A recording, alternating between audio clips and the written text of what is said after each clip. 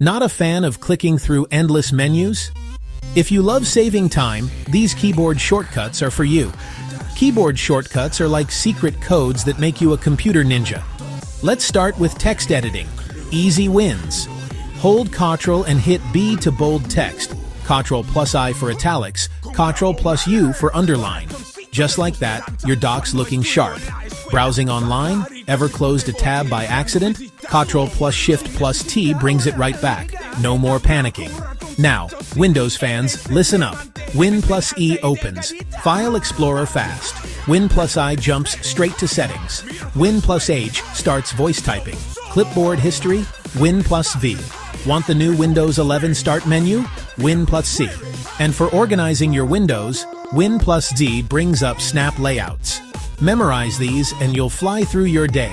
No mouse needed. Quick recap, screenshot this. Pause to practice a couple now. Like for part 2. Save this for later.